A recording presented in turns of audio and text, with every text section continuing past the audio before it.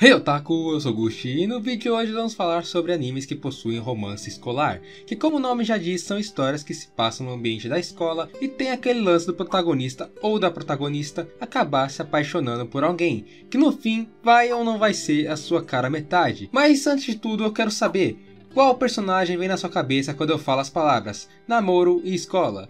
Pra mim, vem por algum motivo o Yamada de Yamada Kan e as Sete Bruxas. Comenta aí qual é o seu personagem que vem na cabeça. Então chega de enrolação, vamos ao vídeo!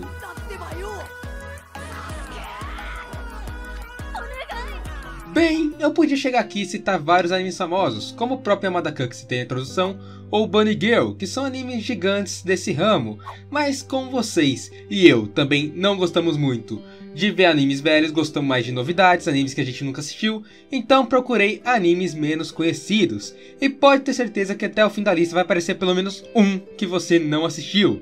Então pega o bloquinho, a caneta e vamos à lista. My Switch Tyrant. Esse anime eu achei bem engraçado e ele traz uma proposta que apesar de ser clichê, é bem trabalhada. Os personagens principais são o Akun e a Noutan. O Akun é um menino bem tímido e tem bons traços de uma pessoa bem fechada, e por isso não consegue mostrar tantos seus sentimentos. E ele namora com a Noutan, e ela é muito carinhosa, e apesar do Akun não mostrar os sentimentos, e até fazer coisas bem sem noção de vez em quando, ela percebe que no fundo ele gosta muito dela. E isso acaba desenvolvendo todo o romance dos dois, e a história vai girar em torno disso. É uma comédia também bem legal em cima de todo esse romance. Eu acho que você vai gostar muito desse anime por causa da proposta em si, que é os opostos. O segundo anime aqui da lista é Say I Love You. É parecido com o primeiro na parte dos personagens, mas dessa vez a garota é a pessoa tímida da história. O nome dela é Mei, e por causa de alguns traumas que ela teve durante a vida, ela nunca teve muitos amigos e nem mesmo muito contato com as pessoas. No fundo, ela não conseguia confiar em ninguém, até que ela conhece o Yamato, que é um garoto que ela brigou por engano, e logo de cara, após explicar o mal entendido, ele ficou encantado por ela, e a história vai mostrar o desenvolvimento dos dois, até quem sabe eles virarem um casal. E não, esse anime não tem tanta enrolação como parece. Agora temos Gamers. Esse anime talvez seja o mais famoso da lista, mas eu não queria fugir dele, afinal eu sou muito fã dessa obra. E ela conta a história de Keita com Karen, que são dois gamers. O Keita é um cara que gosta muito de jogar jogos, mas sempre de maneira casual, afinal ele não tem um nível profissional em nenhum deles. Então ele é aquele player que gosta de jogar apenas para se divertir e passar o tempo como ele não tem muitos amigos. Então um dia ele conhece a Karen, a menina que é a presidente do clube de jogos da escola. De início ela quer muito que ele entre para o clube, mas ele sempre recusa as propostas, pois não acha que aceitariam ele bem por causa que ele joga apenas para se divertir e não com nível profissional. E a história vai evoluir a partir daí, um relacionamento entre esses dois gamers.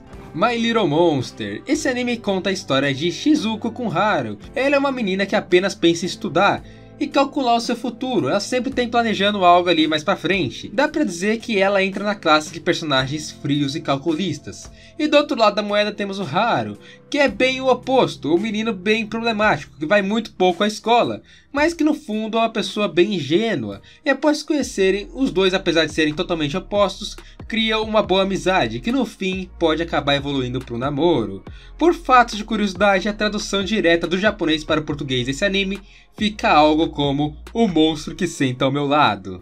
Haru Raish. Eu não tenho certeza se pronunciei certo, mas esse anime tem uma personagem bem interessante, a Yoshioka, que é uma menina que está buscando um novo rumo para sua vida. No fundamental, quando mais nova, ela era uma pessoa que era muito assediada por sua beleza, isso por parte dos garotos, que viviam se declarando para ela, e esse fato fez com que ela tivesse poucas amigas, por causa das invejas das outras garotas, já que elas não gostavam tanto dessa tão assediada pelos meninos. Então, essa disputa de tensão fez ela ficar muito tempo sozinha, então agora ela resolveu mudar o seu jeito, sendo um pouco mais delicada e grossa com os meninos para não ter esse problema de ter poucas amigas.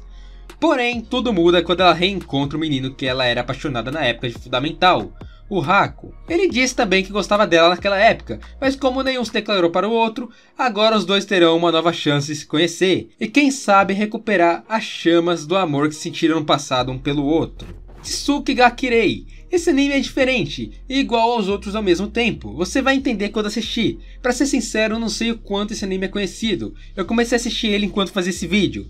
A história é sobre um grupo de adolescentes do terceiro ano do ensino médio, e o casal principal vai ser o Katoro e a Akane, que juntos aos outros amigos irão entrar nesse último ano escolar com a missão de amadurecer e reconhecer quem são eles mesmos.